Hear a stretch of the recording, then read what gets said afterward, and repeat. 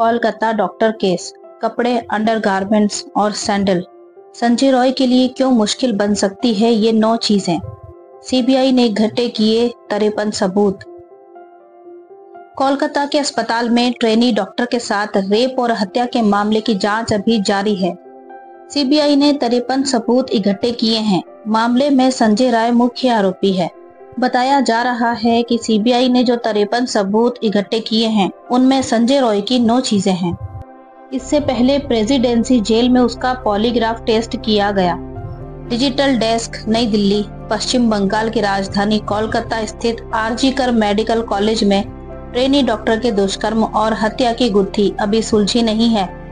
मामले की जाँच कर रही सीबीआई को तिरपन अहम सबूत मिले हैं। इनमें मुख्य आरोपी संजय रॉय की नौ चीज़ें भी शामिल हैं। सीबीआई को अहम सबूत मिलने के बाद संजय रॉय की मुश्किलें और बढ़ सकती हैं। कपड़े, अंडरगारमेंट्स, सैंडल और क्या मिला? सीबीआई के हाथ जो सबूत लगे हैं, उनमें डिजिटल सबूत, सीसीटीवी फुटेज और फॉरेंसिक रिपोर्ट अहम है। इसके अलावा संजय रॉय की नौ चीज़ें भी मिली हैं।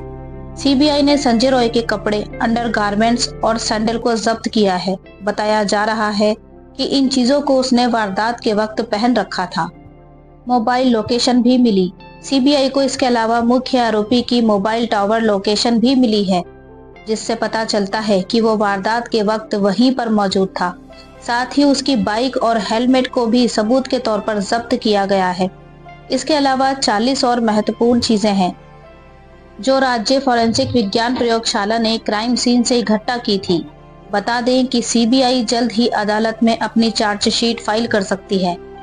जेल में हुआ पॉलीग्राफ टेस्ट कोलकाता की प्रेसिडेंसी जेल में संजय रॉय का पॉलीग्राफ टेस्ट किया गया। संजय इसी जेल में बंद है। वहीं कोलकाता में सीबीआई के दफ्तर में चार प्रशिक्षु डॉक्टरों और संजय रॉय के करीबी सिविक वॉलेंटियर अनुप दत्त का भी पॉलीग्राफ टेस्ट किया गया, जबकि इससे पहले शनिवार को अस्पताल के पूर्व प्रिंसिपल संदीप घोष समेत चार प्रशिक्षु डॉक्टरों का पॉलीग्राफ टेस्ट किया गया था। आगे की अपडेट के लिए बने रहिए हमारे साथ। वीडियो पसंद आया हो तो वीडियो को लाइक कीजिए और चैनल को सब्सक्राइब कीजिए।